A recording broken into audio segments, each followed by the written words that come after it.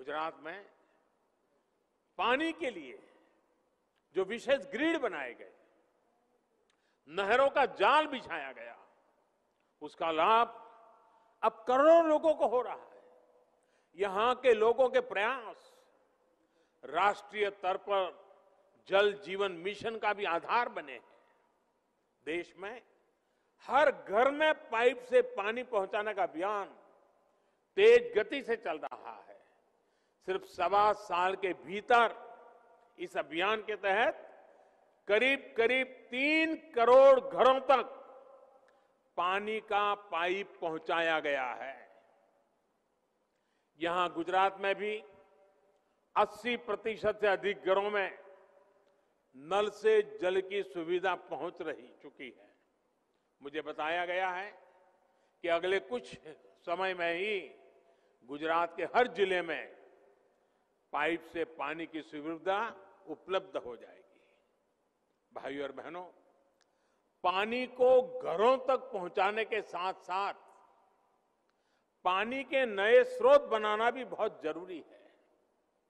इसी लक्ष्य के साथ ही समंदर के खारे पानी को शुद्ध करके इस्तेमाल करने की व्यापक योजना पर भी काम हो रहा है। मांडवी में तैयार होने वाला desalination plant Narmada grid Sauni network और वेस्ट वाटर ट्रीटमेंट जैसे प्रयासों को और विस्तार देगा।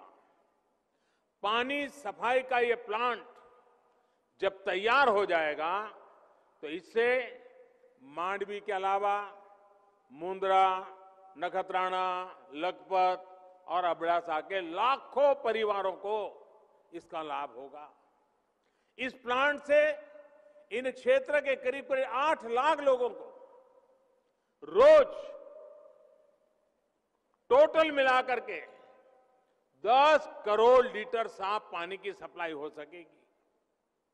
एक और एक और लाभ ये होगा कि सैकड़ों किलोमीटर दूर से यहाँ आ रहा नर्मदा का पानी, उसका भी हम ज़्यादा अच्छा सदुपयोग कर पाएँगे। ये पानी कच्छ के अन्य तालुका, जैसे रापर भचाऊ, गांधीधाम और अंजार को सुचारू रूप से मिल सकेगा। साथियों, कच्छ के अलावा दहेज, द्वारिका घोगा भावनगर, गिर सोमनाथ, वहाँ पर भी ऐसे प्रोजेक्ट आने वाले में शुरू होने जा रहे हैं। मुझे विश्वास है कि समंदर किनारे बसे दूसरे राज्यों को भी मांडवी का ये प्लांट नई प्रेरणा देगा, उन्हें प्रोत्साहित करेगा।